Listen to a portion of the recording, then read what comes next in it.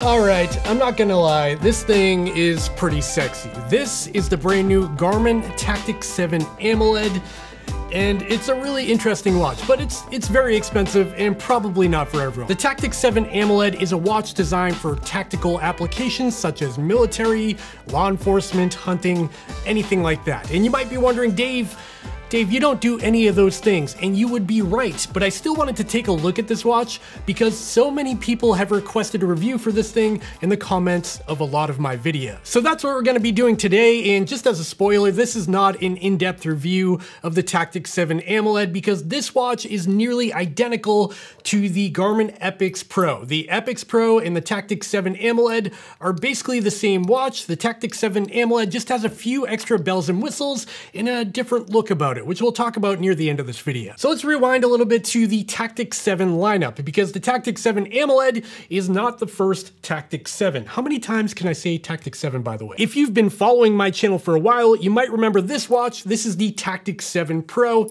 and I have a whole video about this watch as well, which you can check out on my channel. I'll link it up here or in the description down below. The Tactix 7 series now consists of four main models. There's the Tactix 7 Standard Edition, which has no solar on board, but does have have a sapphire lens, and that comes in at $1,099 here in the USA. Then there's the Pro Solar Edition, which I, I have here. This one's $1,299. Then there's the new AMOLED version, which is $1,399. And then there's the most expensive one, which I don't have, and that's the Pro Ballistics Edition, which is $1,499. And holy moly, these are expensive watches. That makes the new Tactix 7 AMOLED one of the most expensive watches you can get from Garmin right now in their standard lineup, not including that Mark collection with the new Carbon collection that has like a $3,000 watch. We're not going to talk about that here. Just know that this watch is not cheap. For a little bit of context, the Garmin Epix Pro 51 millimeter form factor I have here comes in at $999 here in the USA or a 1000 bucks, and that is $400 less than the new Tactix 7 AMOLED. Now, why is that? That's what we're gonna talk about in this video. Before we get into the good stuff in this video, I do wanna give a huge shout out to the sponsor of this video, and that is playbetter.com. Playbetter.com is an ongoing sponsor with this channel. I really appreciate them helping me out. And not only do they sponsor my channel, but they also sent me this Tactix 7 AMOLED for the purpose of this video. And without them, I wouldn't be able to make this video. So thank you, playbetter.com. And if you're in the market for a watch like this, or even a Garmin Epix or a Fenix, or even a Polar watch or a Coros watch, check out the links in the description down down below to head over to PlayBetter where you can get free two-day shipping, a great return policy, and they're real people that you can call on the phone if you have a question about your watch. So check out the links down below. They help support the channel. They cost nothing extra to you, and they're a great place to shop. Okay, Let's move on. So the first thing I want to talk about is what comes in the box. Let's get to the basics here. So here is the Tactix 7 AMOLED. Here is the box, and as you can see, this is not a fancy box. This is not like a collector's edition or something like that. So if I open the box up, you will notice a couple of things that are different compared to a standard Fenix or Epix.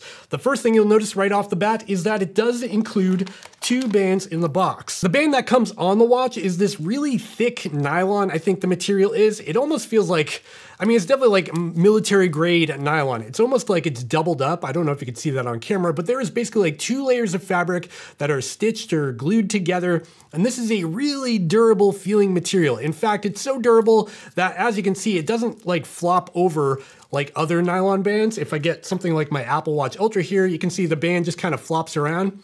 On this one, you can see it's very stiff, and it's so stiff, in fact, that I don't find it to be all that comfortable, which is kind of odd. So the nylon band on this really has no stretch at all. If I put it on my wrist here, uh, for context, I do have 165 millimeter circumference wrists, if that helps you out with sizing. However, I will say I've only had this watch for a few days, and I do think this is the type of band that needs to break in over time. It almost feels like a piece of leather or something like that, that the longer you wear it, the more comfortable it will get. It is a really cool look because it's not a standard nylon band. Okay, with that band off, the other band in the box is your standard Garmin Quick Fit nylon band. So you've got the little clasp on the back so you can pop it off very easily and attach it to the watch.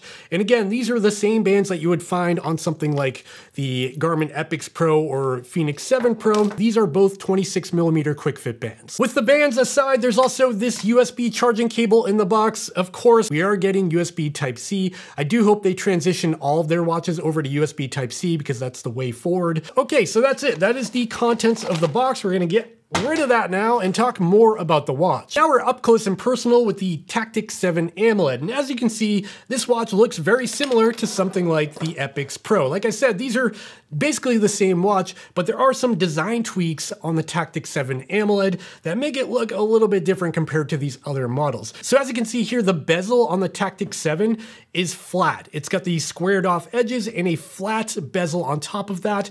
And I think this makes it look really cool. I wish they did this with all of the Fenix and Epix models instead of this sort of tapered bezel.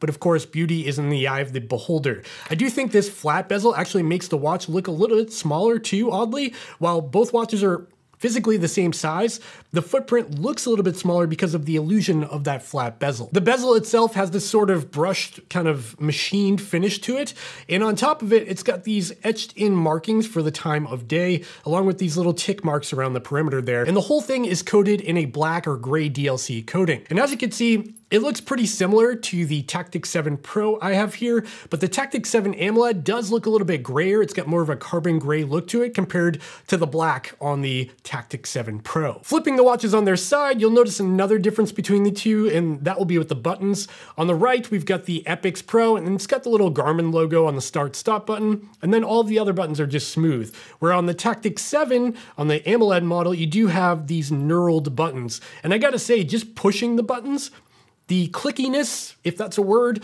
on the Tactix 7 AMOLED is a little bit more substantial. I don't know if that's due to it being a Tactix or just luck of the draw here, but I do notice that the buttons just feel a little bit more tactile for the Tactix. That was a nice one. Other than that, when it comes to size and weight between the Epix Pro 51mm and the Tactix 7 AMOLED, they're basically the same footprint, the same size and weight, the same thickness, the same on the back, everything looks the same, the same heart rate sensor, the same charger. It, it's the same. How much more can I say about it being the same? And for a quick comparison against the Fenix models and the Tactix 7 Pro, which are kind of the same thing here, all the way on the left, we do have the Epix Pro 51mm, then we have the Tactix 7 AMOLED, then we have the Fenix 7 Pro 51 millimeter or the Fenix 7X, and then all the way on the right is the Tactix 7 Pro. And for just one more size comparison, I'll throw the Apple Watch Ultra in the middle here so we can just get a look at sizing compared to all these different watches and how it compares to an Apple Watch Ultra because I feel like that's the one most people will be familiar with. Okay, let's move these watches away and focus more on the Tactix 7 AMOLED because there are a couple of other little tweaks about this watch that make it different. First of all, it's going to be the watch face. The Tactix 7 AMOLED good comes with this very tactical looking watch face. It's got this sort of army olive green look to it. It's got a very camouflage desert kind of thing going on. And I do like it because it's got a ton of information around the perimeter of the watch face here. You've got your step count, your calories burned, your elevation, the weather for the day, the battery,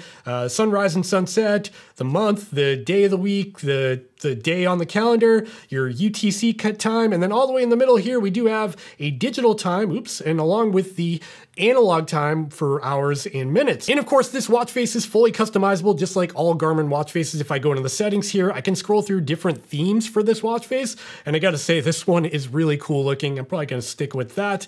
And I can also change what the hands look like on the, on the dial. I can change all of the different settings and information, the accent colors. It's all available here in the settings here. So you can kind of tweak this to your heart's desire. Moving right along, let's talk battery life on the Tactix 7 AMOLED because spoiler, it's the same as the Epix Pro. That is to say, very good. This watch can go for about a month on a single charge in smartwatch mode, doing your everyday tasks without activities. So that's really impressive. And not only is battery life the same on the Tactix 7 AMOLED, so is all of the training information like your training readiness, the training status, and all of that stuff. You've also got your wellness information on here, just like on the Epix Pro, like HRV status, body battery, stress tracking, and of course you do have full offline mapping and navigation on the Tactix 7 AMOLED, which is class leading, the best best in the industry. You've got readable maps. It's all stored internal to the watch, and that's the same as the Epix Pro as well. The Tactix 7 AMOLED has a few features that are specific for tactical things. I don't really know what tactical things you do with this. If you're in the military or law enforcement or you're hunting or something like that, this might apply to you. I don't do those things, but I'll, I'll talk about them anyway. The first tactical feature I want to touch on here is night vision mode. And I found this to be very interesting because night vision mode was available on the Tactix 7 Pro with the MIP display. And I didn't think they'd be able to do that with an OLED display just because of how bright this thing is. But they changed something here on the Tactix 7 AMOLED, and this watch can now dim down to one nit of brightness. So you're not blinded by it if you're wearing night vision goggles. The next feature I want to talk about here is stealth mode. And again, available on, on all the Tactix models, just like the Tactix 7 Pro, not specific to the AMOLED model. The idea behind stealth mode is when you're out in the field doing your tactical thing, whatever that is, it turns off all of your wireless communication like Bluetooth and Wi-Fi, so no one knows you're there essentially. And on top of that, it also won't record GPS data to the internal storage of the watch. It'll still give you GPS information like your position or speed or whatever, but it doesn't record that information.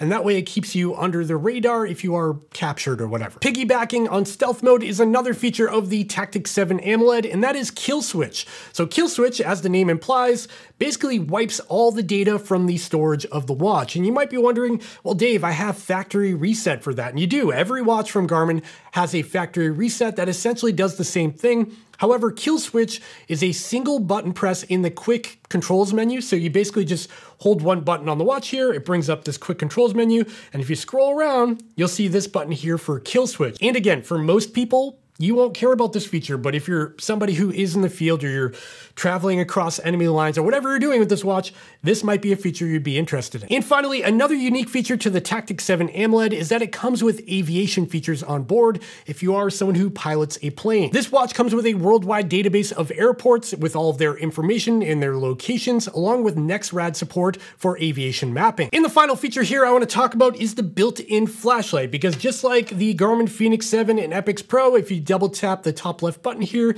you get a flashlight. On the Tactix 7 AMOLED, you get the same thing, a built-in flashlight right on the watch, which I gotta say is probably one of my favorite features about these watches. However, it is a little bit different on the Tactix 7 AMOLED because instead of having a red light alternative, like on the Fenix 7 in the Epix Pro, this watch comes with a green light. So if I dive into the flashlight settings here, go into flashlight, and I go down and tap on this green icon here, you can see the light turns green. And as you can see, it looks like Christmas on my desk here, red and green. Uh, you know, I don't really, really understand the difference here. From what I understand, the purpose of the green light on the Tactix 7 series is that it's supposed to be a little bit more stealthy. Like if you're out in the field and you're trying to read a map or something like that, you could use the green light to do that. However, from what I understand, I think the red light is actually more stealthy and make, makes you less noticeable to animals and things like that. But again, I'm not in the military. I'm not a tactical kind of guy. So maybe you know more than me. And if you do, comment down below and let me know what the purpose is between, behind these two different light colors. When it comes to the brightness of these flashlights though, they are the same. I haven't noticed any significant change in the brightness behind these flashlights. They're both very very bright. And if you drop your keys or you're looking for something in a dark area, this is super clutch to have because it means you don't have to dig out your phone and use that flashlight. You get this right on your wrist at all times. And I, I hope to see more of this in the future on other watches. With flashlights out of the way, let's talk about one more feature on the Tactix 7 AMOLED. And I found this to be pretty interesting, even though it doesn't really apply to me and that's the Applied Ballistics Calculator. So this feature is supposed to help you, I guess, long range shooting using a rifle or archery, I think. Don't attack me too much because I don't know a ton about this. But what I found particularly interesting about this is that the Tactix 7 AMOLED has the Applied Ballistics Calculator on board, while the more expensive Tactix 7 Pro Ballistics also has it on board, but it costs more money because it has it on board, while this one has an AMOLED display. So what gives? So I did some digging on this, and it turns out the more expensive Pro Ballistics model comes with the Applied Ballistics calculator fully unlocked out of the box. So you can take the thing out of the box and start using the Applied Ballistics calculator. Where on the Tactix 7 AMOLED, if I try to dive into this here, it says that it's locked, and you have to go in to the Applied Ballistics Synapse app in the Garmin mobile app on your phone, to unlock it. And this is a paid unlock. From what I understand, it's about $300 to unlock this using the Garmin Connect and Synapse app. I might be wrong on this, and if I am, again, comment down below, but it seems like an additional $300 charge if you want to use Applied Ballistics on this model. But that's really all I can talk about when it comes to Applied Ballistics. Again, I don't even know how to use it. I don't know what it does. All I know is it's for like long range shooting. Okay, that brings us to the conclusion and final thoughts about the Tactix 7 AMOLED. And again, this is a quick review video. This is not an in-depth review or anything like that. At the end of the day, I think people interested in this watch will come from two different camps. There's going to be people coming from a tactical background, whether that be military, law enforcement, hunting, or whatever else. I don't know, paintball shooting, is that a tactical thing? That's where you might be interested in the features of this watch, like stealth mode, night vision goggle mode, and the kill switch and all that stuff. And I think the other camp are people that are interested in the Garmin Epix Pro, but want something that looks a little bit different and don't mind paying up for the extra, you know, the, the uniqueness of this watch. And I'm not gonna blame you either way. I do get that this watch is sexy, it looks different, it's not run of the mill, and you'll stand out when you're at the starting line at your next race, and I can fully appreciate that. And of course, included in that extra 400 bucks, you do get two bands in the box, which does mitigate the price a little bit, but I do feel like you're just paying for the, the uniqueness of this watch. But for everybody else out there who does not own a pair of night vision goggles, the Epix Pro 51mm it's gonna save you a couple of bucks and give you basically all the same features. And that's it, we made it to the end of this video. If you found this video fun or entertaining, please consider going down and giving me a thumbs up and subscribing to the channel down below so you don't miss more videos from me in the future. And like I said before, check out the links in description down below if you're interested in the Tactix 7 AMOLED, the Epix Pro, the Fenix Pro, or any watch I talk about in this video, because those links do help support this channel and they cost nothing extra to you. So you might as well use them. And now I wanna hear from you. Are you interested in the Tactix 7 AMOLED? If you are, let me know in the comments down below what features interest you. Are you somebody who's in a tactical application? Are you flying a plane and you need these aviation features? Let me know in the comments down below, or if you just like the look of it. I'd accept that too. And with that, I gotta go. I'll see you in the next one. Bye.